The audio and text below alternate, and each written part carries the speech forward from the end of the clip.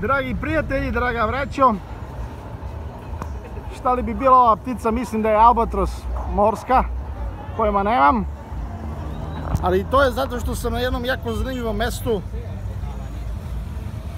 Puerto Lopez u Ekvadoru, na ribljoj pijaci. I ovo u životu nisam video. Znači sveža morska riba u svim pojavnim oblicima na svim mogućim mjestima čisti se ovdje i prodaje.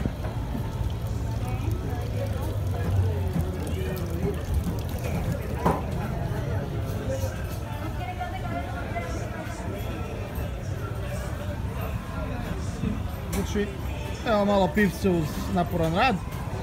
Znači ovi ljudi ovdje žive uglavnom od toga što love i prodaju ovu ribu. I ovdje možete naći bukvalno sve.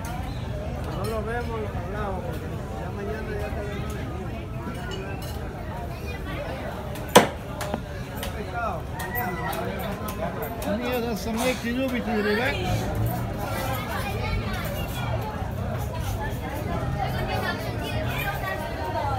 A ovdje je i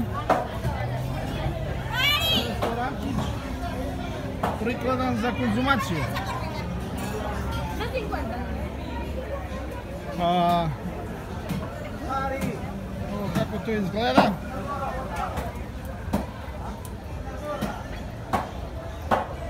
ovo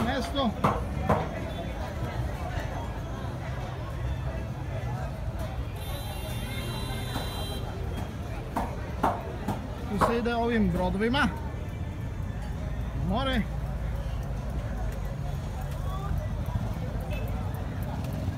A potom se ulov lepo na licu mjesta prodaje.